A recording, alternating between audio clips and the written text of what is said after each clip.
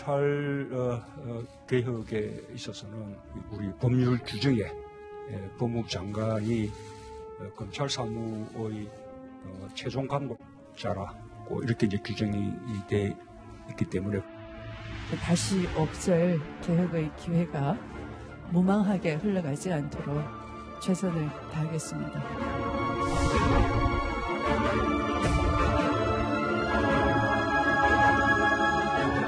국민이 선출한 대통령으로서 헌법에 따라 권한을 다하겠습니다.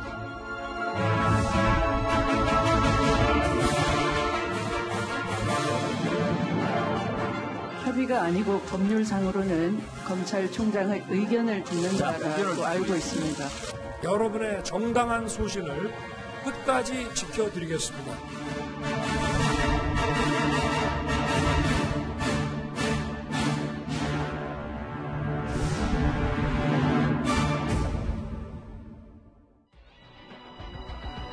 지금부터는 이 얘기를 좀 하나하나씩 해보겠습니다. 뉴스탑 10이 뽑은 1위입니다.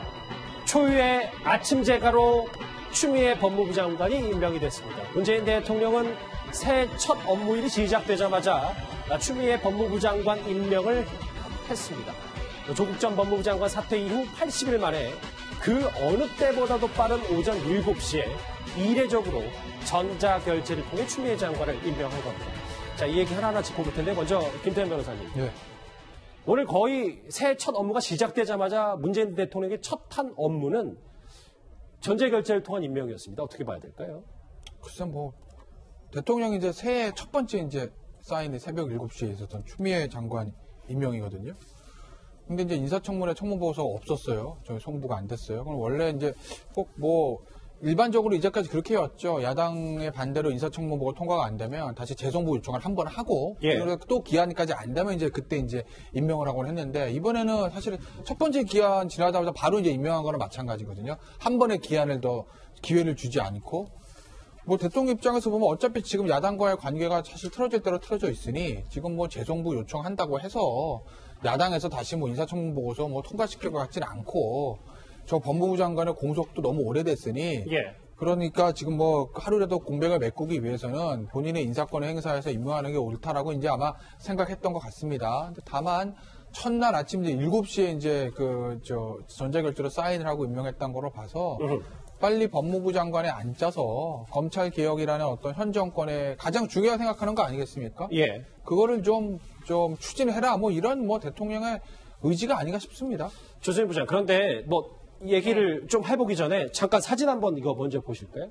오늘 현충원 신년 참배에서 물론 뭐 바로 임명이 되긴 했지만 추미애 장관만 이렇게 검은 옷을 입지 않아서 여러 가지 뒷얘기들이 좀 나오고 있더라고요. 이건 좀 어떻게 된 명문입니까? 오늘 문재인 대통령이 추미애 법무부 장관 임명을 제거한 시간이 오전 7시예요. 예. 아마 추 장관도 예상하지 못했을 거다. 저는 그렇게 봅니다. 왜냐면요. 당연히 임명장을 받고 나서 공식 업무를 시작을 하는 거거든요. 그렇다면 임명식에 입을 만한 드레스 코드 붉은색 계열의 화사한 옷 이것을 골랐을 거예요. 그런데 오늘 새벽 7시에 법무부 장관 임명이 재가 되면서 현충원 참배부터 하자 이렇게 된 거죠. 그래서 지금 보시는 것은 아, 아마 붉은 옷을 가리기 위해서 예, 트렌치 코트를 일부러 좀 덧입은 그런 것도 있고 겨울이기도 하지만 아, 이렇게 볼 수가 있고요. 알겠습니다. 저는 오전 7시에 법무부 장관 임명 재가 하는 걸 보면서 참 큰일 났다라는 생각이 들었습니다. 아, 왜요? 이것은 바로 새벽부터 벼르고 별렀고 그리고 검찰을 향해서 대통령이 직접 칼을 뽑았다 이렇게 해석이 될 수 있는 거거든요. 아, 새해 벽도부터. 그렇습니다. 예. 그러니까 하여튼 이 검찰에 대해서 가만히 있지 않겠다라는 대통령의 의지가 드러난 거예요. 그리고 조금 전에 우리가 그 싱크라고 발언을 들었지 않습니까? 예. 저는 그것도 오늘 굉장히 놀랐는데요. 대통령이 이런 얘기를 했어요. 어떤 권력기관도 국민 위에 존재할 수 없다. 검찰 나무란 겁니다. 그런데 역으로 생각하면 어떤 권력도 국민 위에 군림할 수 있습니까? 지금?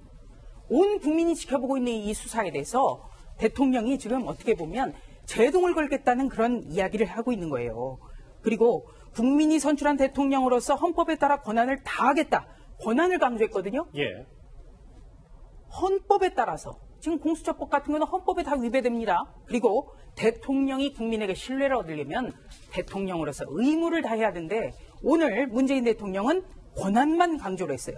그리고 이 추미애 대표가 아, 추미애 장관 같은 경우에도 뭐 외과 수술 의사 이런 얘기까지 했거든요. 그런데 이 추 장관 제가 더불어민주당 대표 시절에 네. 윤석열 검찰총장 등에게 한 얘기를 찾아봤어요. 그래서 대표 시절에는 과연 무엇을 이야기했을까? 2017년 말입니다. 이때 더불어민주당의 추미애 대표는 검찰이 적당히 눈 감는 것은 또 다른 불법이다. 이렇게 이야기를 했습니다. 왜 그럴까요? 바로 전 정권과 전전 정권에 대해서는 계속 수사라는 겁니다. 조수인 부장이 말씀하신 그 두 부분도 잠시 뒤에 좀 더 더 구체적으로 짚어보겠습니다. 알겠습니다. 지난해 12월 30일 추미애 장관의 청문회가 끝난 지 불과 사흘, 그리고 국회에 청문 보고서와 재송부 기한이 종료된 지 7시간 만에 추 장관이 임명된 거기 때문에 야당에서는 이례적인 아침 제가의 독선과 오병의 선전포고라고 주장했습니다. 청문 보고서 송부 기한을 사실상 하루짜리로 하고 대통령이 눈을 뜨자마자 추미애를 장관으로 임명한 것은 국민의 대표 기관인 국회를 얼마나 우습게 보는지를 다시 한번 입증하는 것입니다. 글쎄요, 뭐 거의 뭐 실시간으로 움직였기 때문에 김종욱 교수님. 네. 임명 강행이 벌써 이번 정부 들어 23번째이기 때문에 추미애 장관 후보자가 별다른 결격 사유가 없었다면 그래서 국회 통과하고 좀 기다린 게 어떻냐라는 얘기도 있더라고요. 그러니까 일단 청문 보고서 없이 장관을 임명할 수도 있다고 생각이 들지만 이게 23번이라면 난감한 거죠 국민들 입장에서도 왜냐하면 국민을 대의하는 의회를 무시하게 되면 이게 반정치로 흘릴 수 있는 가능성이 되게 높습니다. 그러니까 토론할 이유가 없는 거죠 국회에서 토론을 해봤자 토론의 결과와 무관하게 어떤 결정들이 나기 때문에 토론을 안 하게 되는 거고 그리고 많은 그런 많은 국민들이 어떻게 생각하냐면 아 여야 정치가 실패한 거고 제가 볼 때 청와대도 실패한 거죠. 여야 청와대 모두가 이런 식으로 진행을 하게 된다면 모든 정치에 실패했다는 느낌을 줄 수밖에 없다는 측면이 드는 거고요. 또 하나는 자유한국당도 마찬가지지만 제일 야당이니까 저는 좀 철저한 검증과 절차를 거쳐 서 인사청문회의 보고서에 좀 흔적을 좀 남겨, 남겨둔 생각이 들어요. 무엇이 문제인지 이런 것들을 남겨놔야 나중에 전례가 될 수 있는데 대부분 여- 여기에 대해서 좀잘 뭐 화답을 하지 않는 부분들이 분명히 있는 것 같고요. 또 마지막으로 제일 큰 문제는 뭐냐면 예. 이런 부분들이 선례가 되게 되면 편법이 정상화되는 문제가 발생하게 됩니다. 이건 상당히 안 좋은 문- 안 좋은 거고요.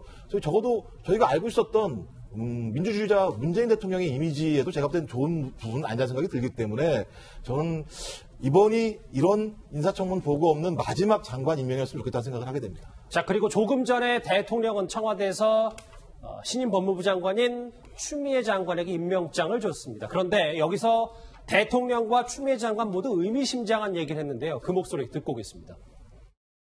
예, 법무부 장관이 어, 검찰 사무의 어, 최종 감독자라고 이렇게 이제 규정이 이돼 있기 때문에 어, 검찰의 개혁 작업을 잘 어, 이끌어 주시기 바랍니다.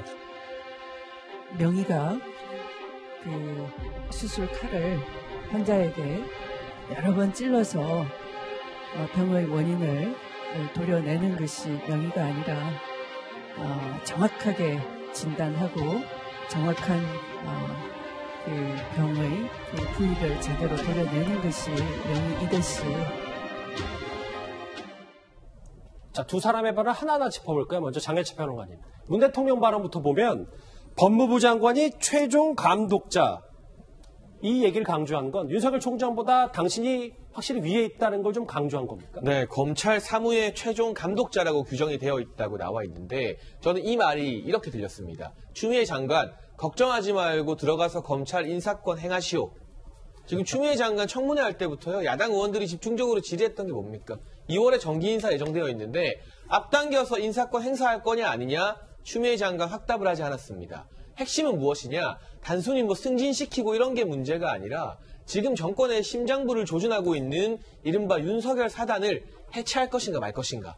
그 수사팀의 예봉을 인사권으로 꺾을 것인가가 관건이겠는데요. 여기에 대해서 문재인 대통령이 추미애 장관에게 마음대로 해도 된다는 사인을 저는 최종 이 사무 감독자가 법무부 장관이다. 이 말에 다 담겨 있는 것 같아요.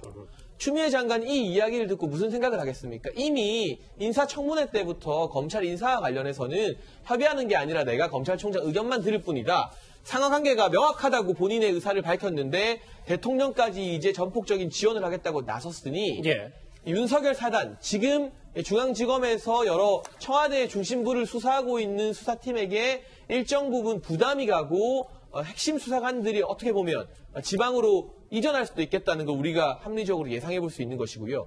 만약 그렇게 된다면 박근혜 정부에서 윤석열 총장이 좌천당했다가 다시 복귀했던 것처럼 그리고 그러한 인사가 박근혜 정부에게 상당히 부담이 됐던 것처럼 총선을 앞두고 민심이 다시 한번 들끓을 수 있다는 걸 추미애 장관과 오늘 저 말씀을 한 문재인 대통령도 유념을 해야 될 것 같고 예. 한 가지 더 검찰 개혁 작업을 잘 이끌어 달라고 했습니다. 법무부 장관의 역할이 검찰 개혁에만 있는 것입니까? 오히려 검찰이 정치 권력으로부터 독립해서 제대로 된 수사를 할 수 있게 하는 든든한 버팀막이 되는 게 저는 법무부 장관의 역할이라고 보는데 예. 문재인 대통령도 그렇고 추미애 장관도 그렇고 법무부 장관이 되면서 처음부터 끝까지 검찰 개혁, 검찰 개혁, 검찰이 마치 너무나 문제가 많아서 손을 대야만 하는 그러한 집단인 것처럼 바라보는 사고관이 이 발언 구석구석에 너무 짙게 깔려 있는 것이 아닌가 우려스럽습니다. 조세현 부장. 네. 추미애 장관도 임명장을 받자마자 윤석열 총장을 겨냥해서 명의론을 꺼냈단 말이에요. 이걸 저희도 또 어떻게 받아들여야 됩니까? 예. 역대 검찰총장들이 수사검사들에게 당부하는 게 바로 명의론이에요. 어허. 왜냐하면 이곳저곳 해집지 말고 정확하게 환부를 도려내서 신속하게 끝내라 이런 거거든요. 그런데 지금 추미애 장관의 발언은 지금 상황과는 조금 거리가 멀어요. 왜냐? 지금 검찰에서 전개하고 있는 게 세 가지 수사입니다. 우선 이 조국 전 장관과 조국 전 장관 일가의 문제가 있죠. 그리고 두 번째로는 유재수 감찰 무마 사건이 있습니다. 예. 세 번째는 청와대 울산시장 선거 개입 사건. 정말 다 대형 사건이에요. 그런데 이것을 외과 수술로 치면 한 군데만 도려낼 수 있습니까? 이런 경우에는요. 예를 들어서 위수술하는 사람, 장수술하는 사람, 간수술하는 사람 다 혁진을 해야 돼요. 그런데 여기에 대해서 빨리 끝내라 이걸 지시를 한 겁니다. 빨리 끝내라는 의미다. 그렇습니다. 그렇기 때문에 부적절하고요. 예. 그 2017년 11월 10일 더불어민주당의 추미애 당대표가 이렇게 이야기를 했어요. 검찰 일부에 적폐청산의 소극적 기류에 심각한 우려를 전하지 않을 수 없다. 검찰은 국민과 나라에 충성해야 된다. 이게 어느 때냐면 변창훈 부장검사가 극단적인 선택을 해서 수사팀이 위축됐을 때입니다. 그런데 이런 얘기를 했거든요. 그렇다면 당대표 시절의 추미애 그리고 장관으로서의 추미애 두 사람은 다른 겁니까? 조세현 부장, 제가 질문 하나 더 드릴게요. 저렇게 임명장을 받자마자 글쎄요, 뭐 이조저조 다 찌르는 건 좋은 인사가 아니라는 발언까지 할 정도면 네. 대통령이 힘을 실어주는 것에 대해서 추미애 장관도 검찰 개혁과 인사권에 대해 상당히 자신감이 있, 지 않으면 저런 말 할 수 없는 거 아닙니까? 대통령과의 교감 하에 지금 움직이는 거죠. 왜냐하면 이 장관은 형식적인 어떻게 보면 검찰이 인사권자죠. 대통령의 뜻을 받들어서. 그런데 추미애 장관이 인사청문회 때 계속 내내 의원들이 물어본 것은 수사팀이 교체될 수 있느냐 그렇게 물어봤거든요. 예. 네. 지금 현재 조국 전 장관 등 현 여권의 수사팀이 교체할 수 있느냐 여기에 대해서 추미애 장관 답변하기 어렵다고 했습니다. 하겠다는 얘기입니다. 이거는. 자, 그리고 문재인 대통령은 오늘 임명장 수여식 직전에 있었던 신년 인사회에서는 이렇게 검찰 개혁에 대한 의중을 드러냈었습니다. 같이 한번 들어보실까요?